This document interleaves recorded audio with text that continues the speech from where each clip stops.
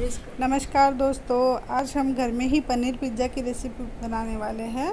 Lockdown के समय में बाहर का पिज़्ज़ा खाना हेल्दी नहीं होगा तो अगर पिज़्ज़ा खाने का मन करे तो घर में बने हुए बेस से आप इस पनीर पिज़्ज़ा को आसानी से तैयार कर सकते हैं।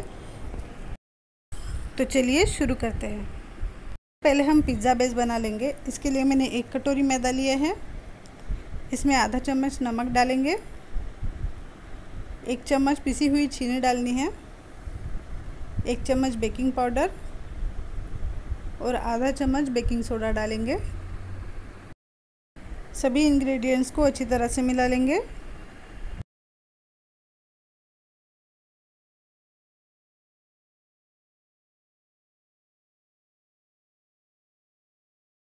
अब इसमें थोड़ा थोड़ा पानी मिलाकर हम इसे गूंथ लेंगे। ज़्यादा टाइट डो नहीं बनाना है। एकदम सॉफ्ट डो बनाकर तैयार कर लेंगे। दोस्तों मार्केट में रेडीमेड बेस मिलता है। अगर आप रेडीमेड बेस पर पिज़्ज़ा बनाना चाहते हैं तो किस तरह से बनाना है बिना ओवन के, इसकी रेसिपी भी मैंने अपने यूट्यूब चैनल पर डाल रखी है। उसका लिंक मैं डिस्क्रिप्शन बॉक्स में दे दूँगी। आप चेक कर सकते हैं। एक ही बार में ज़्यादा पानी नहीं डालना थोड़ा थोड़ा करके पानी डालिए। दोस्तों, बेस अगर अच्छा बनेगा तो पिज़्ज़ा भी बहुत अच्छा बनकर तैयार होगा। इसीलिए बेस बनाते वक्त विशेष सावधानी के साथ धीरे धीरे आसानी से एकदम सॉफ्ट डो तैयार कर लेना है। हमने इसे गूंथ लिया है। आप देख सकते हैं, मैंने बहुत ही सॉफ्ट आटा गूंथ लिया है। इसे हम ढककर 15 से 20 मिनट तक रख देंगे। जिससे कि ये एक्टिवेट हो जाएगा और अच्छे से फूलने लगेगा। पंद्रह मिनट के बाद इसे एक बार फिर से अच्छी तरह से मसल लेना है। ये हाथ में चिपक रहा है, इसमें थोड़ा सा तेल डालकर हम इसे मसल लेंगे।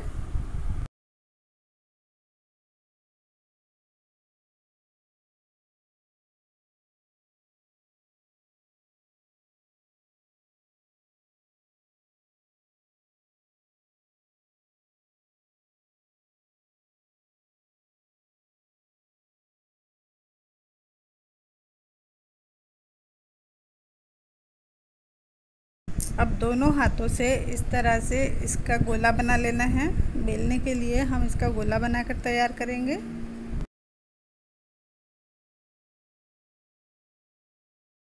इसे बेलकर पिज़्ज़ा बेस तैयार कर लेते हैं।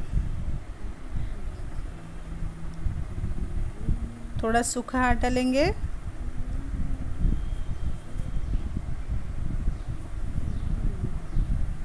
अब इसे अच्छी तरह से बेल लेंगे, ज़्यादा पतला नहीं बेलना मोटा मोटा बेलेंगे।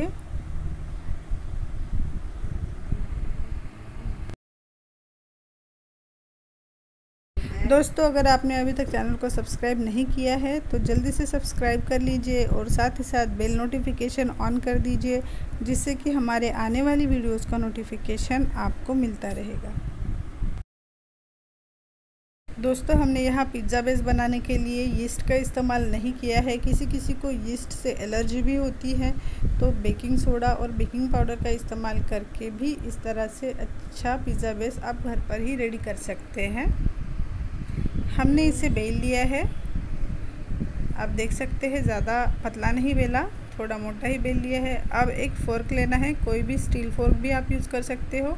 और इस तरह से हम इन पर दाने बना लेंगे। छोटे छोटे गड्ढे ले, कर लेने हैं।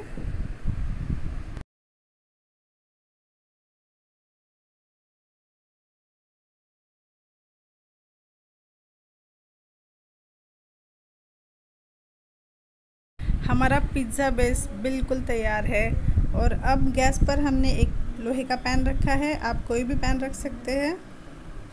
उसके ऊपर मैंने एक नॉन स्टिकी पैन रखा है। अब इसमें हम पिज़्ज़ा बेस डालेंगे। थोड़ी देर तक हमें एक साइड से इसे सेक लेना है। अब हम इसे पलट देंगे।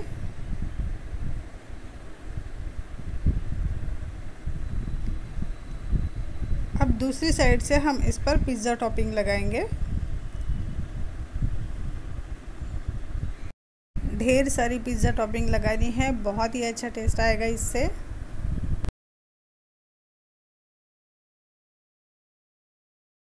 एक चम्मच से हम पिज़्ज़ा टॉपिंग को बेस पर अच्छी तरह से फैला लेंगे।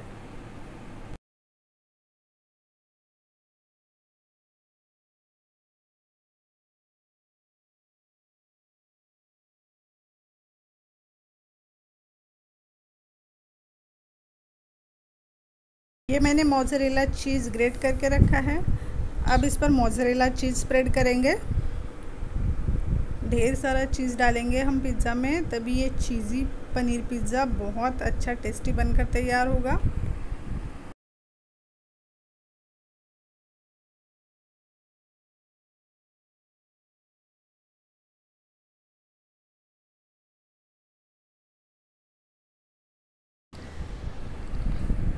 हमने चीज़ को बेस पर अच्छी तरह से स्प्रेड कर लिया है। ये मैंने पनीर क्यूब्स शिमला मिर्च, ओनियन और टोमेटो काट कर रखे हैं। अब हम पिज़्ज़ा की टॉपिंग कर लेंगे।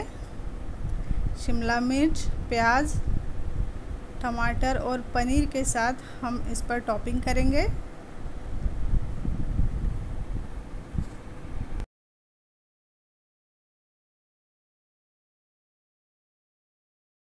अब हम इस पर पनीर क्यूब्स रखेंगे। पनीर क्यूब्स को एकदम छोटा छोटा काट लिया है। अब देखिए, ये बहुत ही अच्छा लग रहा है और उतना ही टेस्टी ये बनकर तैयार होगा।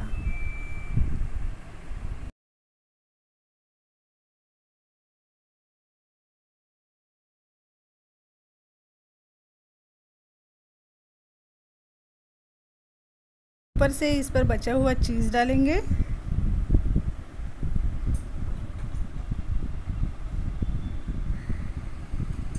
जितना ज़्यादा चीज़ पिज़्ज़ा में डाला जाता है, उतना ही पिज़्ज़ा टेस्टी बनता है। तो हम यहाँ बिल्कुल भी कंजूसी नहीं करेंगे। ढेर सारा चीज़ डाला है हमने पिज़्ज़ा में।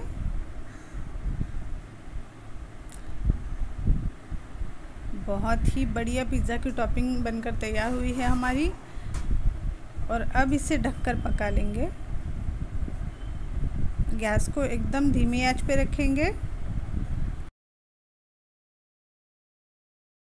इस पर हम चिली फ्लेक्स डालेंगे।